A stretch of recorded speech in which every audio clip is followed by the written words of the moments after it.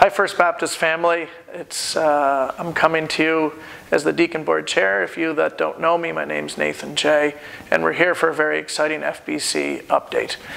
In these unusual times, we're not able to have uh, a business meeting, so I'm coming to you today uh, looking into a camera, and I'm just trying to picture your guys' faces. We really miss you all. In Heaven's Supper last night, our family was just discussing how PEI is starting to come back to a little different normal, maybe, and what that might look like for our children. And Ruby had the comment that she just can't wait to hug people. So, as the deacon board chair, I'm just giving you a big virtual hug, really tight hug from me to you. And we can't wait to see you in person uh, as soon as we're safely allowed. Back on track. Um, as you know, Dave announced his retirement with the intention of being done on June the 30th. After that announcement, our, our board contacted the convention to look for a pastoral team, an interim pastoral team lead.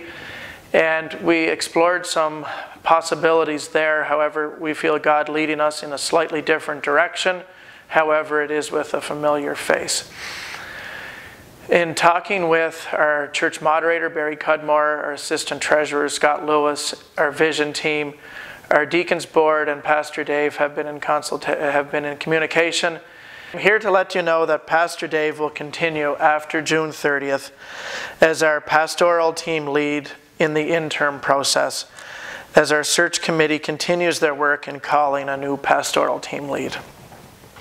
Dave will be working under a new job description that has been created to include a volunteer pastoral team, which lines up with our Vision 2025.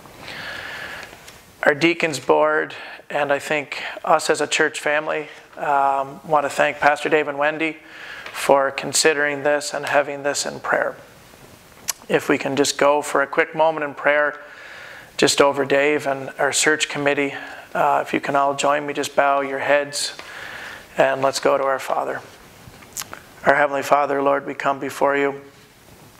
Lord, we thank you for working in kind of mysterious, strange ways sometimes.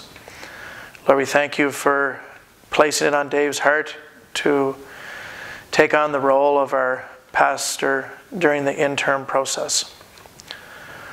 Lord, we just ask you to help him in this transition. His mind was kind of made up to retire, so he's switching from lead pastor to kind of retirement mode and then back into our pastor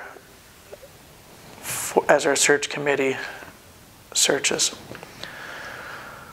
Lord, we ask you to continue to watch over our search committee, continue to grow them as a closely knit group. Lord, we ask you to be speaking into the heart of the person that you're calling to be part of our FBC family as the pastoral team lead. So, Lord, as uh, I mentioned at the first, that it's, uh, I'm just visualizing our church families' faces. Lord, we just ask you to continue to, to bless and keep safe our, our big family. Lord, thank you for who you are. In your name, amen.